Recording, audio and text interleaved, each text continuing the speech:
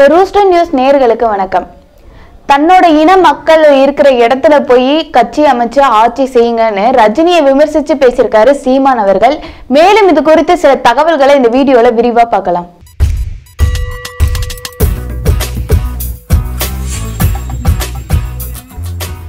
நடிகர் ரஜினிகாந்த் அவர்கள் கர்நாடகாவிலோ இல்ல மராட்டியத்திலேயோ போய் புதிய கட்சியை ஆரம்பிச்சா நானே அவருக்கு ஆதரிப்பேன் அப்படின்னு நாம் தமிழர் கட்சியோட ஒருங்கிணைப்பாளர் சீமான் அவர்கள் அதிரடியா பேசியிருக்காரு. இது பெரும் பரபரப்பை ஏற்படுத்தியிருக்கு. இது குறித்து மேலும் அவர் என்ன சொல்லியிருக்காருன்னா இதை மட்டும் செய்ய சொல்லுங்க. அங்க இருக்க தமிழர்கள் கிட்ட ஓட்டு போட சொல்லி நான் கேட்கிறேன் அப்படின்னு அவர் சொல்லியிருக்காரு. நடிகர் ரஜினிகாந்த் அவர்கள் இருபத்தஞ்சு ஆண்டு காலமா அரசியலுக்கு இதோ வருவேன் அதோ வருவேன் சொல்லிட்டு ஒரு சில சாக்கு போக்கெல்லாம் சொல்லி வந்துட்டு தான் இருக்காரு. இந்த நிலையில தான் ஜெயலலிதா மற்றும் கருணாநிதி அவர்கள் மறைந்தாங்க. இவங்க மறைந்ததை அடுத்து ரஜினி மக்கள் மன்றம் ஒன்று ஆரம்பிச்சு அதுக்கு மாநிலம் முழுக்க நிர்வாகிகளையும் நியமிச்சாரு ரஜினி அவர்கள். அந்த நிர்வாகிகள் எல்லாருமே தமிழகத்துல பல பணிகளையும் செஞ்சு கொண்டு தான் வந்துட்டு இருந்தாங்க. மன்றத்தை அறிவிக்கும் போது ரெண்டாயிரத்தி இருபத்தி ஒன்றாம் ஆண்டு நடைபெற இருக்கும் சட்டமன்ற தேர்தலுக்கு முன்னாடியே கட்சியை ஆரம்பிச்சு தேர்தலில் போட்டியிடுவேனும் அவர் அறிவிச்சிருந்தாரு. இடையில ஒரு சில படங்களுக்கு வாய்ப்பு கிடைச்சதுனால அந்த படத்தை எல்லாத்துலயுமே கமிட் ஆயிட்டனால அரசியலுக்கு வருவாரா? இல்ல தனியா கட்சி ஆரம்பிப்பாரா? இல்ல கூட்டணி வைக்க போறாரா? கூட்டணி வச்சா எந்த கட்சியோட ஒரு கூட்டணி வைப்பாரு போன்ற நிறைய சந்தேகங்கள் மக்கள் மத்தியில வந்துட்டு இருந்தது. இதை தொடர்ந்து சமீப காலமா அவர் தெரிவிச்சுட்டு தெரிவிச்சிட்டு வந்துட்டு இருக்க ஒரு சில கருத்துக்கள்னால ஒருவேளை பாஜக இணைய போறாரா அப்படிங்கிற மாதிரியான ஒரு கேள்வியும் மக்கள் மத்தியில நிலவிட்டு இருக்கு ரஜினி அவர்கள் அரசியலுக்கு வரப்போவதா சொன்ன காலகட்டத்தில் இருந்தே இப்போ வரைக்குமே தீவிரமா அவரை விமர்சிச்சு வந்துட்டு இருக்காரு நாம் தமிழர் கட்சியோட ஒருங்கிணைப்பாளர் சீமான் அவர்கள்.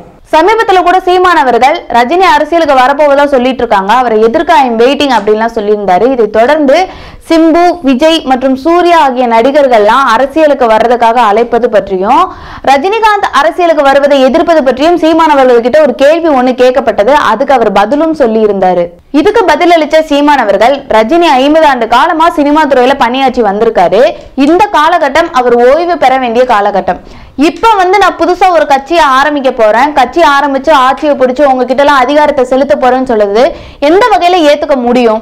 ஒரு நடிகரா இருந்து எங்களை மகிழ்விப்பது அப்படிங்கிறது வேறு. தலைவனா இருந்து எங்கள் மீது அதிகாரத்தை செலுத்துவது வேறு. எந்த ஒரு தன்மானம் உள்ள தமிழராலுமே இதை ஏத்துக்க முடியாதுன்னு அவர் சொல்லியிருக்காரு. இதை தொடர்ந்து இவர் வந்து எல்லாருமே ரொம்ப நல்லவர் அப்படின்னு எல்லாரும் சொல்லிட்டு இருக்காங்க. எதன் அடிப்படையில நல்லவர்னு நீங்க தீர்மானிக்கிறீங்க?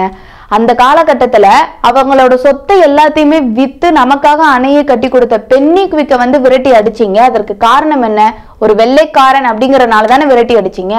அப்ப ஏன் தமிழர் இல்லாத இவரை மட்டும் வந்து இவருக்கு இவ்வளவு உரிமையை கொடுத்து இவர் வந்து புதுசா கட்சி ஆரம்பிச்சுக்கலாம் ஆட்சியை பிடிச்சுக்கலாங்கிற மாதிரியான உரிமையெல்லாம் அவருக்கு ஏன் கொடுக்குறீங்க அப்படிங்கிற ஒரு கேள்வி அவர் கேட்டிருக்காரு. விஜய் சூர்யாவை வரவேற்கிறோம்னா அவங்க வந்து தமிழ் மண்களோட மகன்கள். ரஜினி அவர்கள் வந்து அவர் வளர்ந்த கர்நாடகாவிலேயோ இல்ல அவங்க இன மக்கள் வாழ்ந்துட்டு இருக்க மகாராஷ்டிராவிலேயோ போய் கட்சி அமைச்சு ஆட்சியை பிடிச்சுக்கிட்டோம்.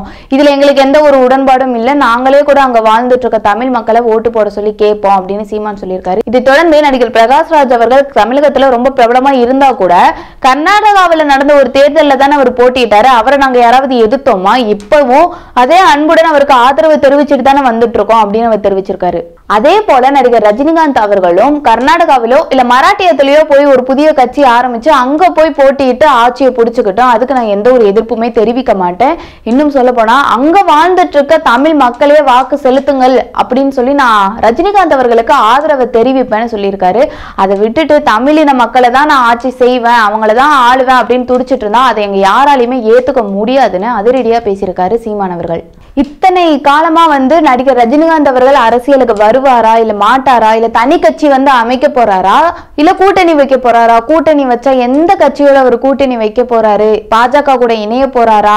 இந்த மாதிரியான நிறைய சந்தேகங்களும் நிறைய கேள்விகளும் மட்டும்தான் மக்கள் மத்தியில நிலவி வந்துட்டு இருந்தது இப்போ சீமான் அவர்களோட இந்த பேச்சை அடுத்து தமிழகத்துல அவர் வந்து போட்டியிட போறாரா இல்ல கர்நாடகாவில் போட்டியிட போறாராங்கிற ஒரு சந்தேகங்களும் மக்கள் மத்தியில எழுந்து வந்துட்டு இருக்கு இதுக்கு ஒரு சரியான முடிவும் ஒரு தெளிவான பதிலும் நடிகர் ரஜினிகாந்த் அவர்கள் வெளியே வந்து சொன்னால் மட்டும்தான் இது வந்து முடிவடையும் அப்படின்னு மக்கள் எல்லாருமே எதிர்பார்த்துட்டு இருக்காங்க.